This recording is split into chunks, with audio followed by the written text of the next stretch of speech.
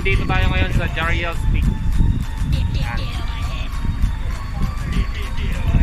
Quezon.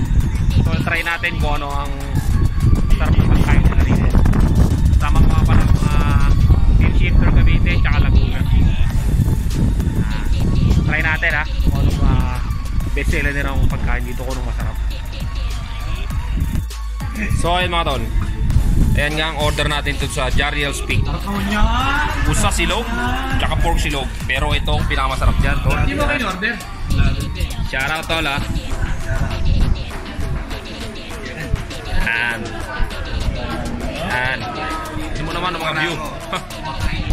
view pa lang, busog na. Ayan. View pa lang, busog na. Sama natin ang Team Shifter Philippines, Cavite Chapter, tsaka Laguna. Yan.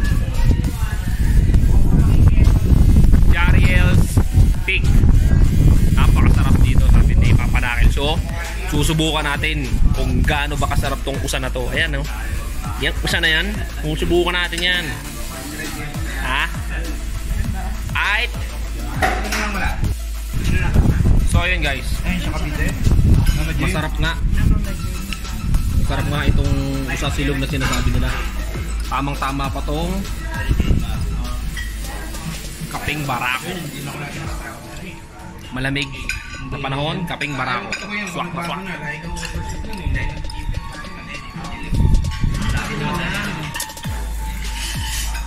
Niya natalo ka sa ano? Panalo. Pwede. Pakanan.